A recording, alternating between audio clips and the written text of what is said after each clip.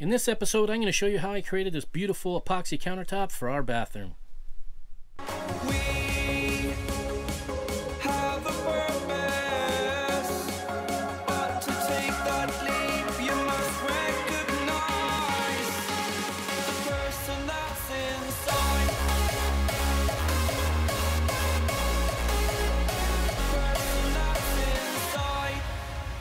Hey roamers, I'm Jamie, and we've been renovating our 2001 Holiday Rambler motorhome.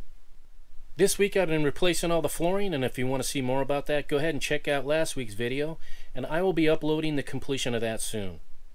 We received a lot of questions about the countertop that I created for our bathroom, so I put this video together. I really enjoyed creating it, and I want to show you what I did from start to finish so you can create it yourself. If you haven't already subscribed, make sure and do that now. And just as important, make sure and ring that bell so you'll be notified each time we upload a new episode. The reason we're changing out the bathroom sink first and the countertop is because last time we went out, we realized that the cold water side of the faucet is leaking. So instead of paying to fix something that we're going to replace, we're going to change out the countertop, the sink, the faucet. It's going to be all new. And then eventually we're going to paint the cabinet underneath. But first we're going to get rid of this. I'm just cutting the silicone or the caulking here where the counter meets the wall. That way I'm not pulling any of the, the wall with me when I go and pull this counter up.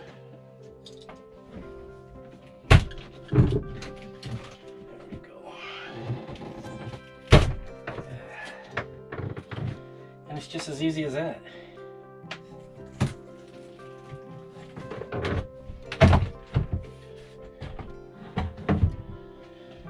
And there you go. It's all pulled up, one piece.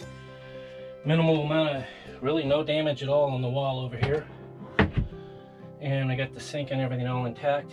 So, so I was looking for my helper. And guess where he's at? He's here laying in the sun, almost falling asleep. Old Dexter boy. What do you have to say yourself, buddy? Huh? What do you have to say for yourself, little Dexter boy? You tired of helping? Yeah. So now we need to remove this sink. Get this out of the way so that we can use this uh, top as a template for the new, the new countertop. So guys, like I said, I went and picked up my MDF, three quarter inch MDF. Uh, what I'm gonna do now is I'm using the old counter as a template. So we're gonna go ahead and trace it out.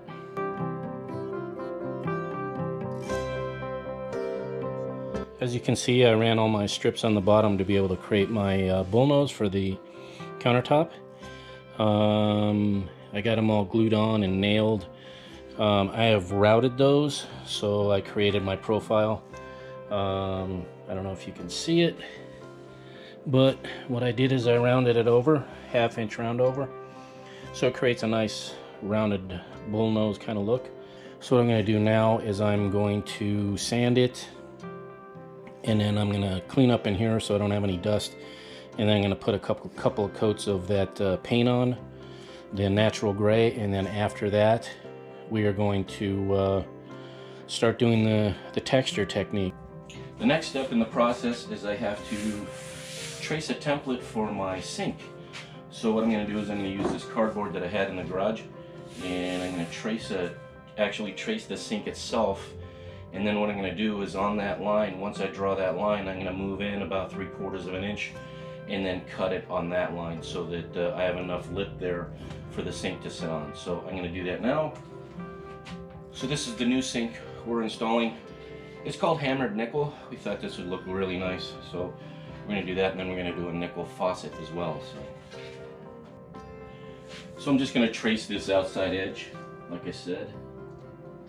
And then I'll move in three quarters of an inch from there and then cut it on that, that line. Well, I got my template drawn out. Now what I need to do is uh, draw that onto the new countertop. One thing that I did do is I uh, went to the old countertop to determine where the location of the sink should be. So what I'm going to do now is I'm going to draw, draw myself some lines here. so that I know where to put my template so that the sink will be sitting in the correct area when I go to reinstall the new countertop in the motorhome. So I'm going to do that now.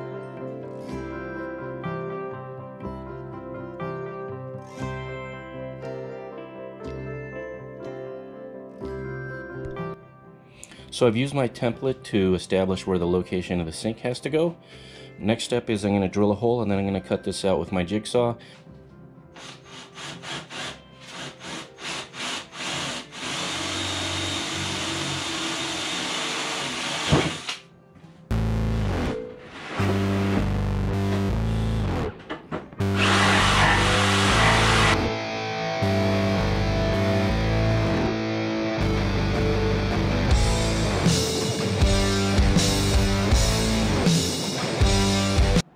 At the step where we do our paint technique. Um, I got these texture paints, they're Rust-Oleum uh, texture paints. I got these at Home Depot. Um, so what I'm going to do with those is I'm going to shoot them on here, but I'm going to uh, leave it kind of sparse because I want it to be speckled so it looks more kind of like granite or style stone. I don't want to cover, cover the complete thing, then you won't see the natural gray underneath. So we just want to create some speckles and some uh, variation in colors. And then once we do that, I'll let it dry and then I'm going to do my float coat of my epoxy over top of it and that's what's going to bring the color out and make it look kind of like granite where it's kind of glossy and real clear looking. So that's going to be this step. So I'm just, at this point I'm going to start with my the dark brown color, then I'm going to follow up with the bleached stone and then last I'm going to do the sienna. So that's the next step here. So we're going to go ahead and get that started. So I'm using the step stool so that I can get high enough away. Um, otherwise I'll get too much on here. So I want to be about 16 inches above to give it a nice speckle. Otherwise if I'm too low I'm going to get way too much material and I don't want that. So.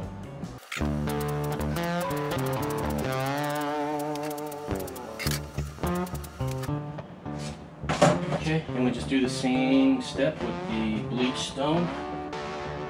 And do the same for all three.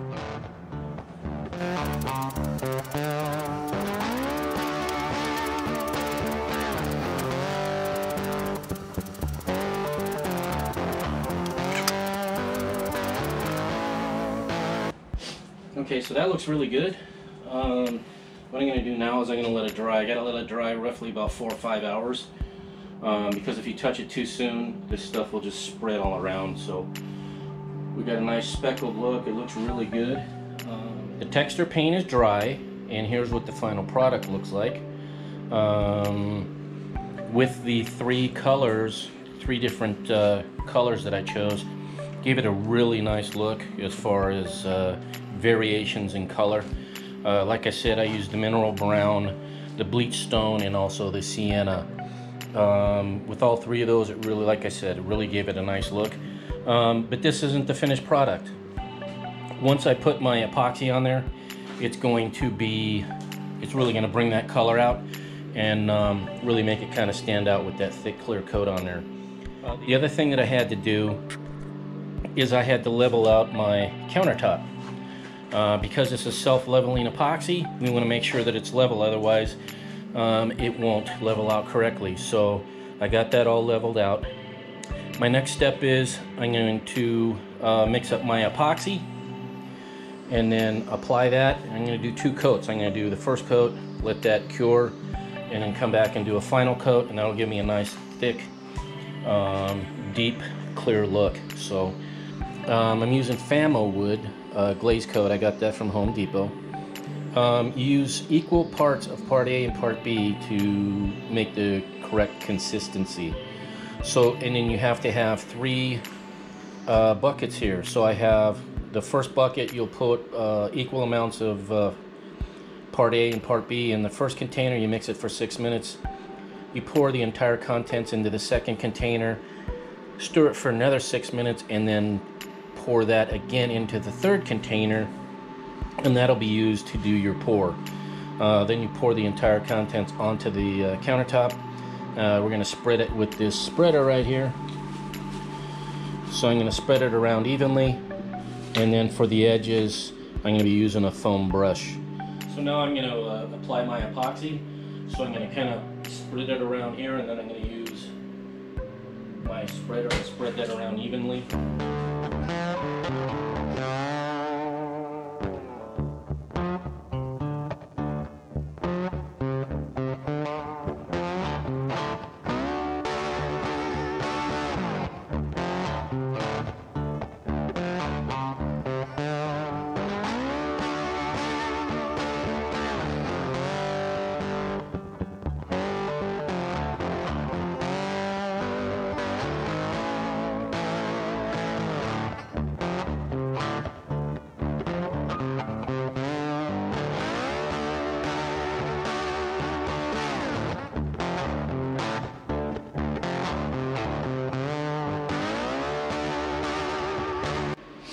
Okay, now once we get it uh, spreaded like I did, um, I spread it and then I chopped it. You saw me chopping it.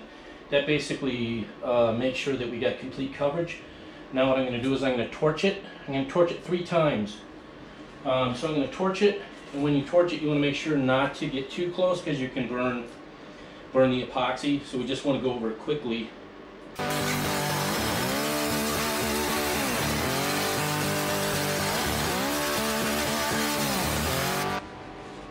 You know, I can already see it. It's laying out like glass. It's going to be really pretty, and it's really bringing out that color. Here comes the new countertop.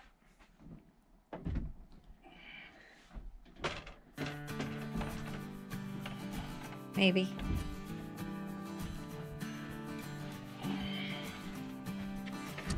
It's gonna run me over. This video was about the fabrication of the countertop. What I did after the countertop had cured, I mounted the faucet onto the sink and then I ran a half inch bead of silicone around the the hole where the sink was going to mount and then I laid the sink onto that bead of silicone.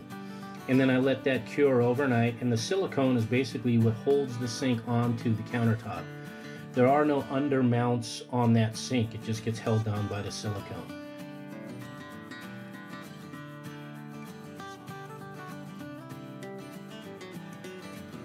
I mounted the countertop by running a half inch bead of liquid nails on top of the cabinet surface and then laid the countertop on top of that. And then once that cured, that held it into place.